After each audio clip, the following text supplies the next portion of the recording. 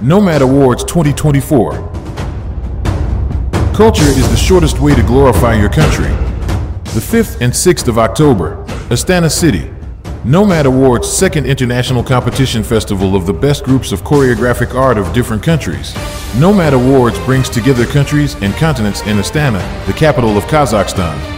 Nomad Awards is an international professional jury, the tradition of roundtable discussions with leaders and teachers, master classes from representatives of their culture in order to increase the professionalism level of leaders and ballet masters.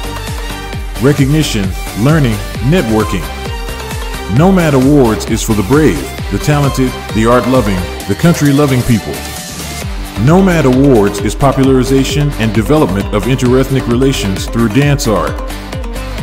Increasing the level of spiritual, aesthetic, and moral education of the younger generation. Attraction of attention of embassies, public and commercial structures to problems in the field of national culture. Countries and continents unite in the dance of the world. The world of dance knows no borders. The language of dance is one. Nomad Awards 2024. The 5th and 6th of October, Astana City,